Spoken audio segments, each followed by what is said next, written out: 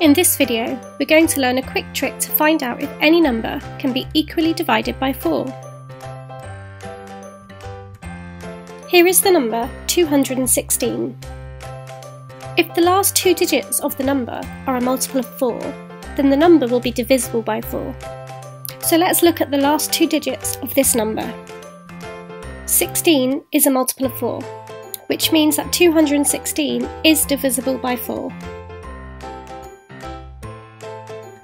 Next we have 3,572. So remember, we only look at the last two digits. If you're not sure if the last two digits are a multiple of 4, you could half it and then see if it's a multiple of 4. So half of 72 is 36. 36 is a multiple of 4, so that means that this number is divisible by 4.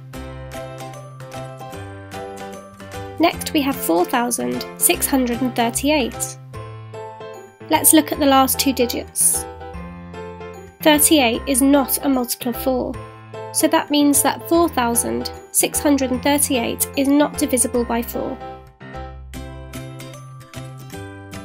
Now we have 83,464. So let's look at the last two digits. If you're not sure if 64 is a multiple of 4, you could half it and then see if it's a multiple of 4. So half of 64 is 32. 32 is a multiple of 4, so that means that this number is divisible by 4.